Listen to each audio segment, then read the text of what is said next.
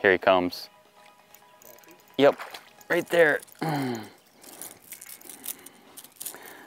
Little crappie on the hard baits. You can tell when they eat that thing too. He's got it right by the front hook. now that's just a little, little crappie, but that goes to show you, you don't have to finesse them this time of year. They get with it, so you wanna watch, you wanna watch the attitude of the fish very carefully. Sometimes going bigger is, uh, is sometimes the answer, but not always. But that's just a little guy.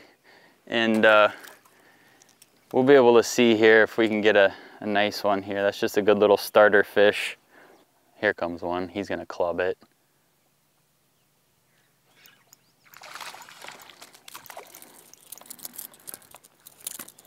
Another little guy. That, green line really jumps when they eat it.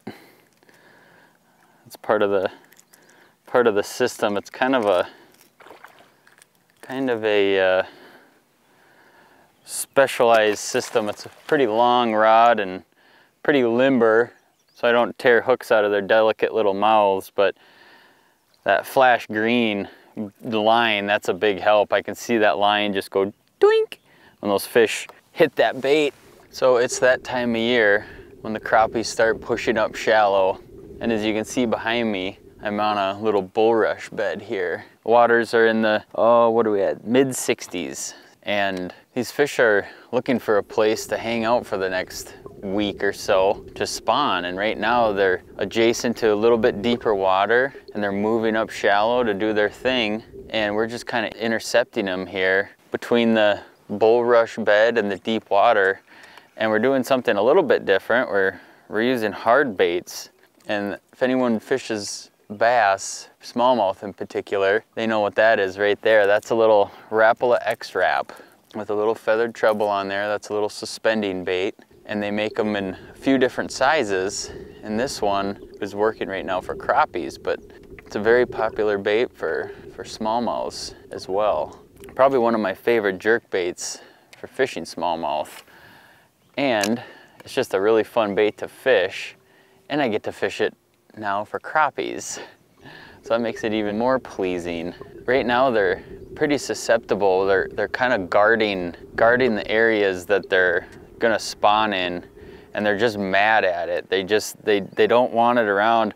I found the other night I was out and there was one that was very locked down and I threw a little hair jig on him and he wouldn't bite it. And I threw a little tungsten and plastic on him and he wouldn't bite it. And I picked up a bigger bait.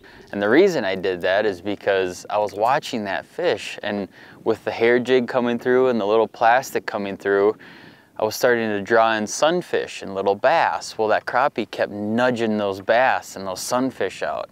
And I was like, gosh, he's gonna eat something big if he's gonna eat something. And I grabbed that Shadow Rap and, and drug it by his face and, and sure enough, he just clocked it. So it wasn't that he was hungry, he was just threatened.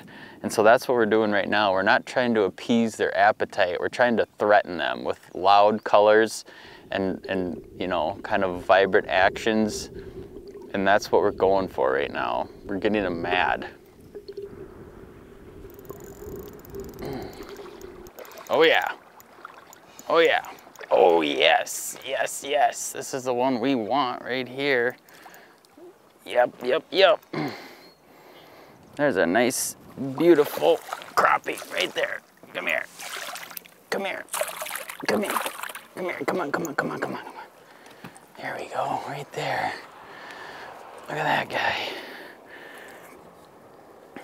That is so fun to be able to catch nice big crappies on little hard baits. A little Rapala.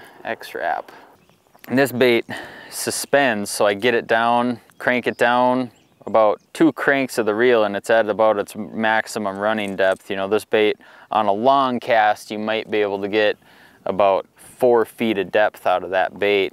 But right now I'm making short little casts, getting it down about two, three feet, killing the bait.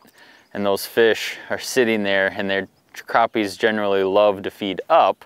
So I just suspend that bait right over the top of their heads and they come up and and crack it. Because I'm using this as a little jerk bait, you know, I'm doing the same things I would, you know, as I would do to catch smallmouth. You know, twitch, twitch, pause, wind it, get it going, twitch, twitch, pause. But because it's so bright in color, on the pause, it's suspends, so that thing just hangs there. And if you see some, you can just hang that bait right over their face. And that's part of the part of the reason I've used I'm using that clown colored bait. Really clear water. I can see the fish, I can see the bait. I have really bright colored line. When I see this bait jump in the water, I know they grabbed it and I can see it transmit through my line as well. So that's part of the reason for the bright, bright, loud, obnoxious color. They can see it and I can see it and it's just really an obnoxious looking bait and it drives them crazy.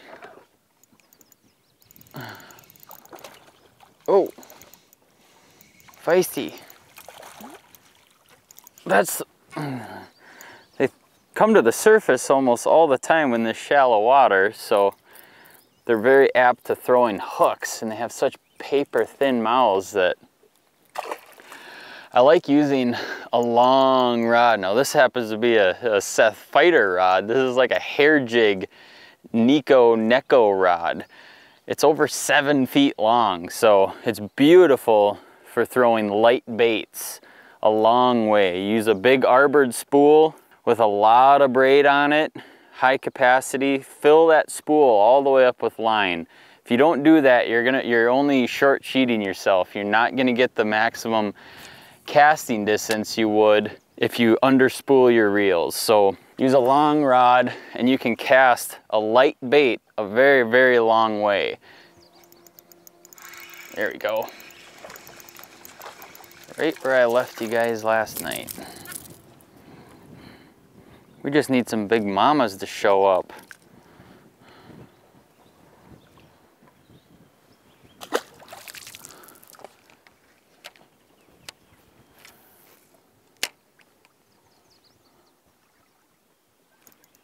There we go. This is right where I left them last night. We just need to find the big ones.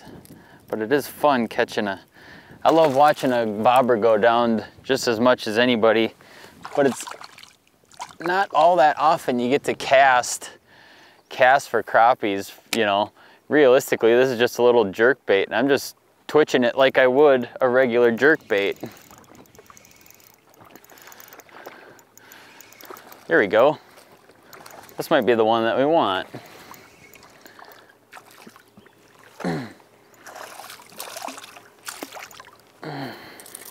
That's a better fish.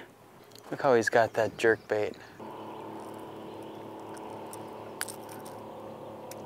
It's a nice little handful. Pretty fun deal if you can find a nice school of crappies that are willing to play on hard baits.